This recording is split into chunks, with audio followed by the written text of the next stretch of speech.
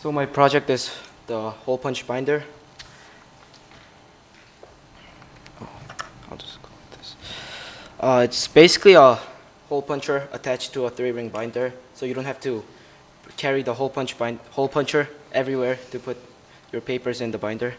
And the paper pieces that are hole punched will fall into the holes in the middle of the binder, into the removable boxes underneath, and they will catch them so I can remove them and throw away the paper, paper pieces. And this is the picture of my own binder. And I think three-ring binder is one of the best ways to organize your papers because it, you can put as much as paper you want and you can divide it into as much as section you want. But there's a problem with the three-ring binder is that you can't put the papers in the binder if you don't have the three holes. And this is how it looks without the hole puncher. So I thought it would be nice if I attached the hole puncher with the binder, and that's how I came up with the idea. And here are some tools that I used. I used the bandsaw and the table saw to cut the plastic to make the box. And I used the drill to detach the spine of the binder from the binder. And I used the hot glue gun and epoxy glue to attach the hole puncher and the binder. And I used the, uh, the plastic bender to bend the plastic to make the box. And the problems and solutions, and the red ones are problems and the blue ones are solutions. Every, though the first problem is that every time I bend the plastic, the plastic curves sideways, sideways, so I wasn't able to make the shape that I wanted because the plastic always wants to go back to its normal shape when I, every time I bend the plastic. And it's because of the partial heated be because I was using a really thin and small plastic, the heat, the heat wasn't even to the, all the sides, so it was hard to bend. And the solution was I had to bend it back to its normal shape every time it bent so I could make the intended shape.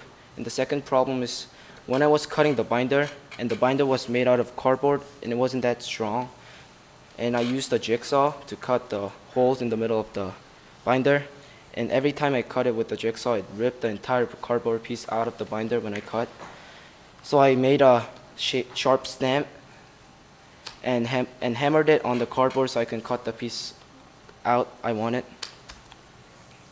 And the materials and costs, the one three ring binder costs about three or four dollars, and one hole punch, little hole puncher costs about two dollars, and the 18 and 24 inches plastic cost $1.24 because I used just a part of it. And the total costs is about $7 and I'm gonna sell it for about $9. And I'm gonna sell it uh, mostly to the students because uh, they get a lot of papers from their teachers and I'm sure they're gonna have the exact same problems like me. They don't have hole puncher every, in every classes and they're not gonna be able to organize their binder very well. And I did some patent search and I found a similar project and it's called the notebook binder, notebook hole puncher. And it goes on the three rings and it stays with the paper. But why my project's better than the notebook hole puncher? The notebook hole puncher takes too much space, but my project is attached to the spine of the binder and it's underneath it, so it takes less space. And with the notebook hole puncher in your binder, it's hard to flip papers with the hole puncher the notebook hole puncher. But my project doesn't really matter because the hole puncher is not located where the papers are and or with the papers. So thank you.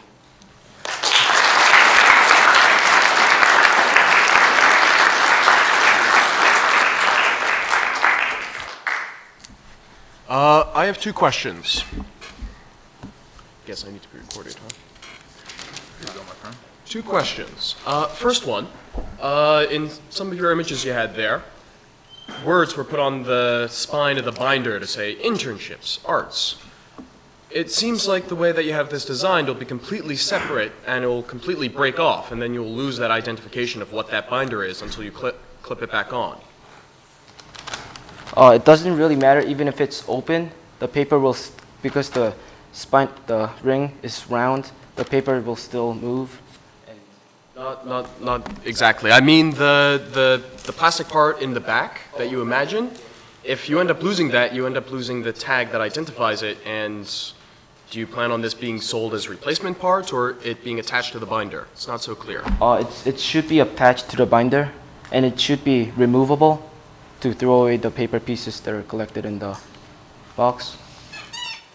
And then the second question I would like to ask is, how easy is it to use this hole puncher with papers in the binder? I have, I have this stack of papers here and I want to punch a hole.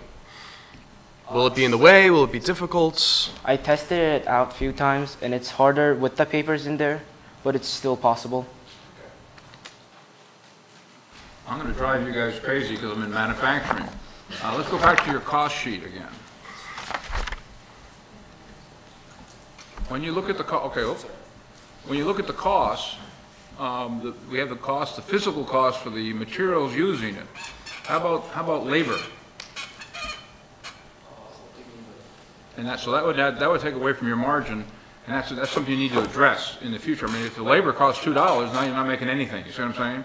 You gotta make sure you address all the costs, and when you address costs, and not just the physical costs, it's what it costs to actually produce the product in the end of the day. So that's important. And uh, if you get the price where you want it, how would you uh, think you'd sell this product? Who would, who would you work with to sell it?